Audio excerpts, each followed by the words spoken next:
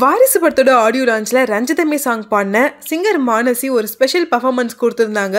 அந்த பர்ஃபார்மன்ஸ்க்கு அப்புறமா அவங்க பேசுறதுக்காக மைக் ஆன் பண்ணும்போது மைக் ஒர்க் ஆகலை. ஒரு ரெண்டு மூணு டைம் செக் பண்ணியும் மைக் ஒர்க் ஆகலை. அதனால் தளபதியே வேற ஒரு மைக்கை வாங்கி ஸ்டேஜில் போய் மானசி கையில் கொடுத்துருக்காரு.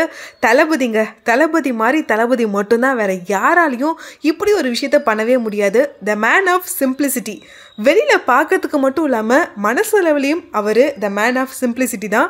வாரிசு படம் வந்து உண்மையாகவே ஏதோ சம்திங் ஸ்பெஷல் தான் நினைக்கிறேன்.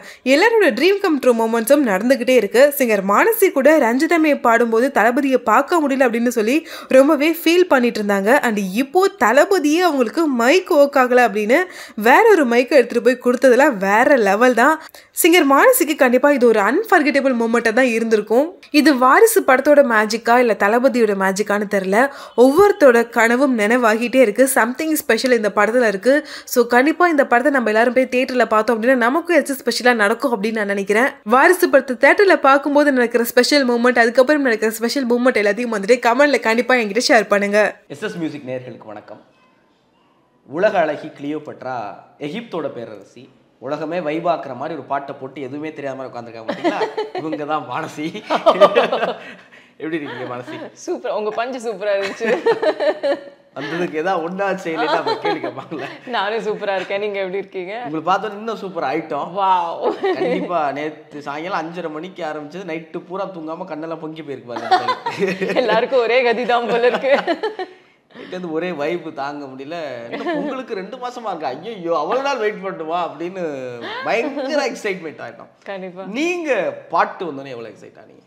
ஆக்சுவலாக நாங்கள் ஃபேமிலியாக எல்லாரும் சேர்ந்து உட்காந்து தான் பாட்டை என்ஜாய் பண்ணோம். டிசைட் பண்ணி எல்லோரும் ஒரு இடத்துல ஒன்று கூடி எல்லோரும் சேர்ந்து உட்காந்து பாட்டு கேட்டோம். ஃபஸ்ட் டைம் பார்த்தோம். ரொம்ப என்ஜாய் பண்ணேன் நான். அதுவும் தளபதி சாரு அப்புறம் ரஷ்மிகா மேம் அண்ட் ஹோல் அந்த பாட்டோட ஸ்டெப்ஸு அதுக்கப்புறமா அங்கே சிங்கர்ஸ்னு போட்டு இந்த பக்கம் தளபதி விஜய்னு போட்டு இந்த பக்கம் அவன் மனசு போட்டு அதெல்லாம் பார்க்கறதுக்கு ரொம்ப ரொம்ப ரொம்ப ரொம்ப ஹாப்பியாக இருந்தது. பார்த்துட்டீங்களா? ஆமா. ஆ, நிஜம்தானா? நிஜம்தானா?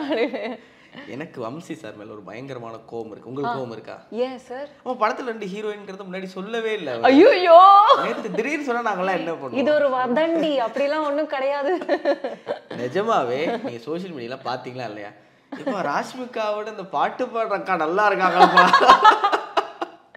ஆமா I mean thank you so much உங்களோட லவ் வந்து இவ்வளோ அன்கண்டிஷ்னலாக பார்க்கறதுக்கே எனக்கு ரொம்ப ஹாப்பியாக இருக்கு.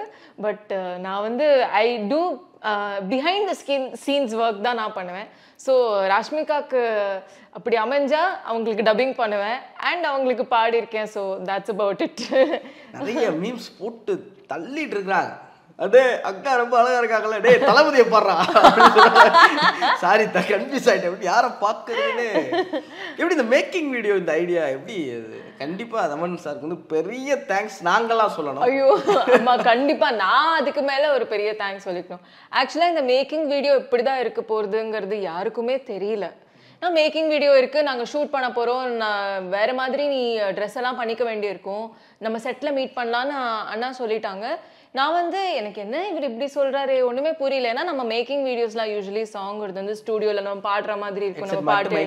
ஆ ஹெட்செட் மாட்டிட்டு நம்ம நார்மலாக நம்ம பாடும்போது அவங்க ஆக்சுவலாக நடக்கும்போதே அப்படி எடுப்பாங்க. அப்புறம் நம்ம ஒரு ஃப்ளோவில் நம்ம பார்த்து க பாட்டு கற்று முடிச்சதுக்கு அப்புறமா அதை அவங்க எடுத்து போடுவாங்க.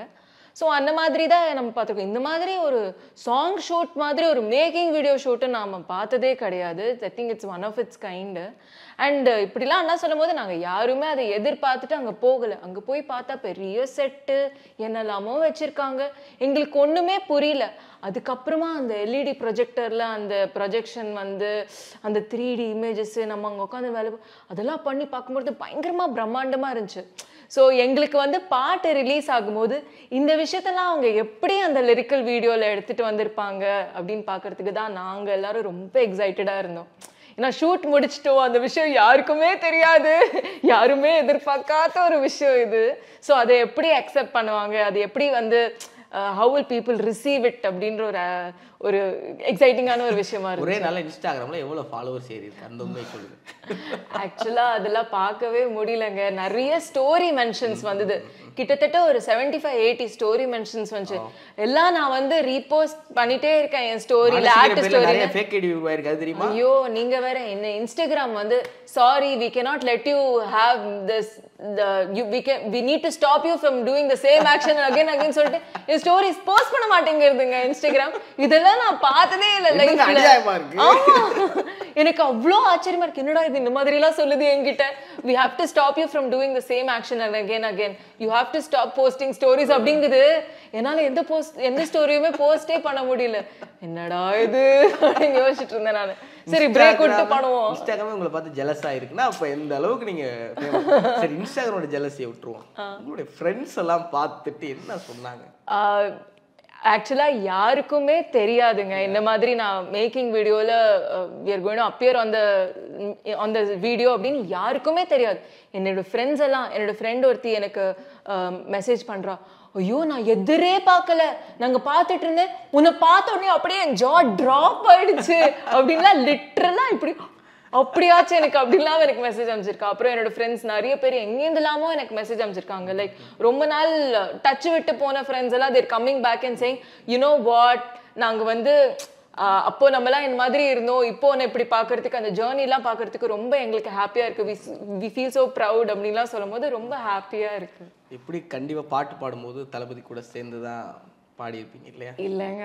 அவர் தனியா பாடினாரு நான் தனியா பாடினேன். இப்- இப்போ எல்லா ரெக்கார்டிங்ஸுமே அப்படிதான் நடக்குது இல்லையா? We don't get to meet the co singer so இந்த தடவையும் கோ சிங்கர் நம்ம தளபதி விஜய் சாரை பார்க்க முடியல. விஜய் சார் உங்ககிட்ட ஏதாவது பேசினார்? அந்த பாட்டு பத்தி அது இது? ஆ இல்லை சார். ஆக்சுவலாக சாரை பார்க்க முடியல. அண்ட் சார் பாடிட்டு கிளம்பினதுக்கு அப்புறமா தான் நான் வந்து பாடுற மாதிரி இருந்துச்சு. அண்ட் அதுக்கப்புறமா சார் பாட்டு கேட்டு என்ன சொன்னார் என்ன இதுன்னு எனக்கு தெரியல. I hope he like the song and everything ஆனால் அவர் அவர்கிட்ட பேசுகிற மாதிரி எதுவும் அமையல. இவ்வளவு இன்பத்திலையும் ஒரு சின்ன துன்பம். ஆனா இது இது மூலமா அவர்கிட்ட பேச கிடைச்சா நல்லா இருக்கும். அடுத்த படத்துல தளபதி படத்துல வந்து மான்சி தான் ஹீரோயின் சொல்லிட்டாங்க ஐயோ சார் அவ்வளோலாம் சார் உங்க படத்துல எல்லா பாட்டையும் வேணா நான் பாடிடுறேன் சார். உங்க ஹீரோயினுக்கு நான் டப்பிங் பண்ணிக்கிறேன் சார் ப்ளீஸ் அது பாட்டு பாடுவேங்கிறீங்க ஹீரோயின் டப்பி பண்ணுவேன் மேக் ஒரு ஏன் ஹீரோயின் மட்டும் பண்ண மாட்டீங்க? Acting not my cup of பார்த்தோம் அது வந்து பாடுறேன். ஆக்சுவலாவே நாங்க பாடினேன் சார் நான் ரெக்கார்டிங் ஸ்டுடியோல எப்படி பாடினேனோ அதே தான் நீங்க மேக்கிங் வீடியோல பாக்குறீங்க. ஏன்னா அந்த பாய பாட்டே நீங்க சொல்ற மாதிரி நல்லா வைபா இருந்துச்சு நீங்க சொன்னீங்க. ஸோ ஸ்டுடியோல நான் எப்படி ஃபீல் பண்ணி பாடினேனோ அதே போல மேக்கிங் வீடியோல நீ பண்ணு அப்படின்ட்டாங்க. அவ்வளவுதான். அதுதான் நான் பண்ணேன். மிச்சப்படி வேற இல்ல உங்க டீம் வேற சுத்தி நின்னு உங்களை ஆமா make கொண்டு ஃபுல் மியூசிஷியன்ஸ் நாங்க எல்லாரும் சேர்ந்து இறக்கிட்டோம் அங்க. பார்த்தா சாரதி வேற முன்னாடி உட்கார்ந்து வண்டியை ஓட்டு ஓட்டு ஆமா. அவர் வந்து "ஆ, ஆன்றாரு ஏத்து, தமிழண்ணா பத்தாது எத்து. ஆக்சுவலா அது சொன்னாரு. ஆஹா இன்னும் பத்தல பத்தல. இன்னும் எக்ஸ்ட்ராவா ஏத்துங்க எக்ஸ்ட்ராவா ஏத்துங்க அப்படின்னு சொல்லிட்டு இருந்தாரு.